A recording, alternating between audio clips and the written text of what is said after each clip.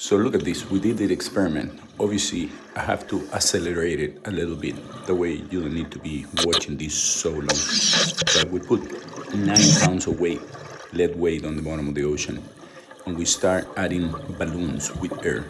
We didn't put much, maybe a couple of puffs from the inflator. We tie the balloon to the line and we wanna see how many balloons will lift the nine pounds. We had the first one, nothing, absolutely nothing happened. We have to do the second one.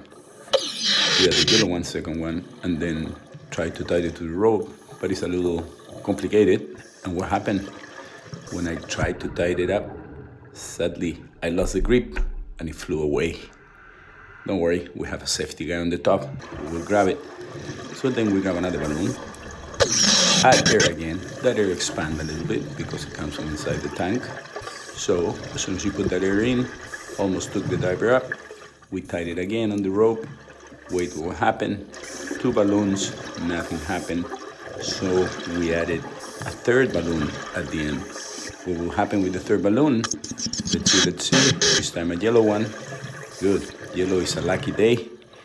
We tied it up on the rope. And now the expansion of air, you can see the nine pounds of weight right there. They're floating already. We almost know that's gonna be. Look at that. Three balloons expanding enough to pull nine pounds from the bottom all the way to the surface. Stay safe out there.